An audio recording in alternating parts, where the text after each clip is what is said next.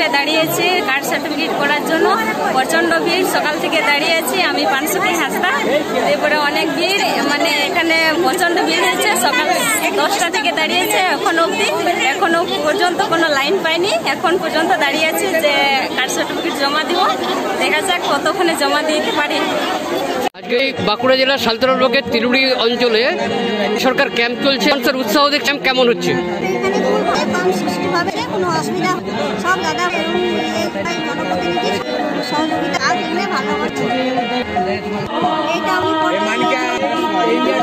এটা আমরা করেছি। কাশি শিবরাত্রি বুথগুলো আজকে মহিলাদের ভীষণ কিন্তু লোকটার প্রভাব করে আগে সব গেছে এখন এবং পদবী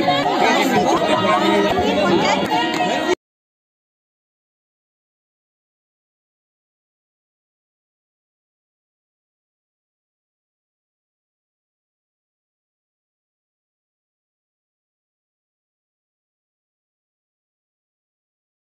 এই যে বাঁকুড়া জেলার সালতরা তিরুড়ি কয়েকটি যে দুয়ারের কর্মসূচি সেটা সম্পূর্ণভাবে অপারেশন করলে কেমন দেখছি কেমন?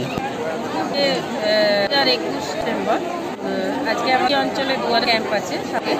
হ্যাঁ, আম- এর আগের দিকে পঁচিশে আজকেও দিন ক্যাম্পে আজকে আমাদের ভাগ করে দেওয়া সংশোধন ছটা সংসদ ছিল আগে আজকে ছটা আর ছ থেকে এসেন আমাদের বিভিন্ন দপ্তরের ভাগ এনে পঞ্চমিনা ব্লকের কোনগুলি সে করছে সফলভাবে হচ্ছে। এখানে আমাদের মুখ্যমন্ত্রী এটা লোকটা এটা সবাই খুব মেয়েরা মেয়েদের লাইন খুব ভিড় আছে। লক্ষ্মীর ভাণ্ডার তবে ভিড়টা একটু এবারে আইসিডিএস স্কুলে যা করা হয়েছে সেটা আমাদের সামলানো এবং সুস্থ আমাদের এই ক্যাম্প আপনার নাম এবং আমার নাম সুফিরাজ ছাত্র সভাপতি